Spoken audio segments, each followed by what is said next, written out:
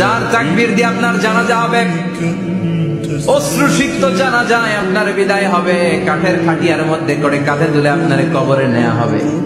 আগে থেকে করে রাখা কবরটার মধ্যে আপনারে বিছিয়ে দেয়া হবে।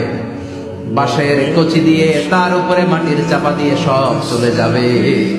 ভাবেন না একবার চোখ বন্ধ করে this is the circle of life this is the nature of life এটা সবার হবে, আমার হবে, আপনার হবে।